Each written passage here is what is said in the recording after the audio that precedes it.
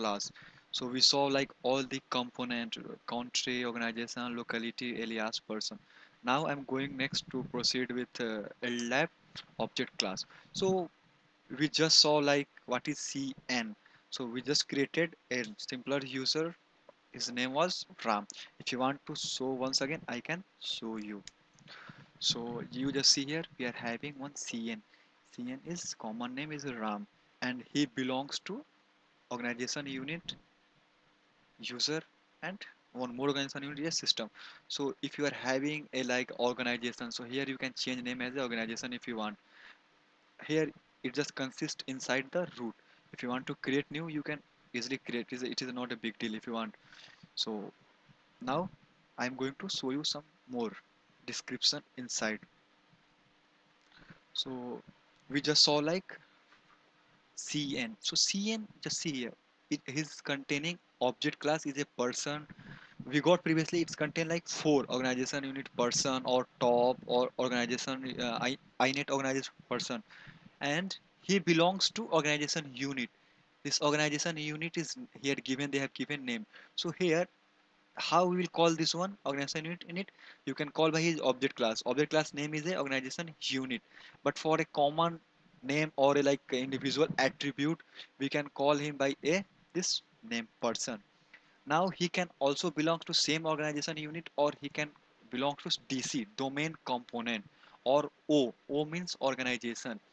So if you want to call this one here you need to give object class equal to dc domain component and he is also a object. So this is belongs to here and it's all like a full structure.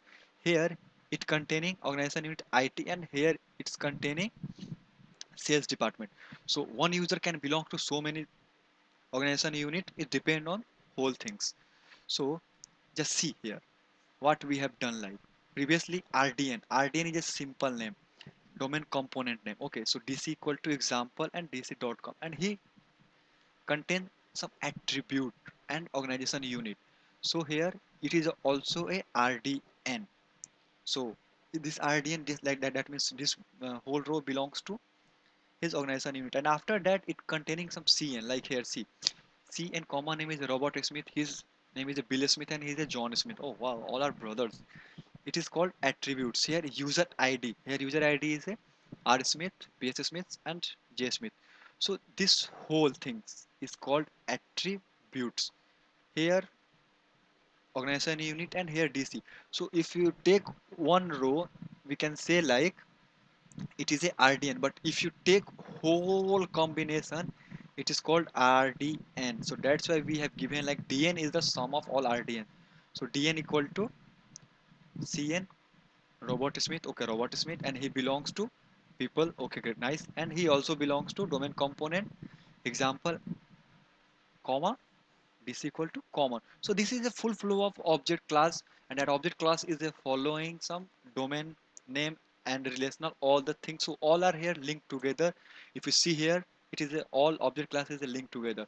So in next one we are going to discuss about the LDAP authentication and what will happen if my co if my authentication is fail or success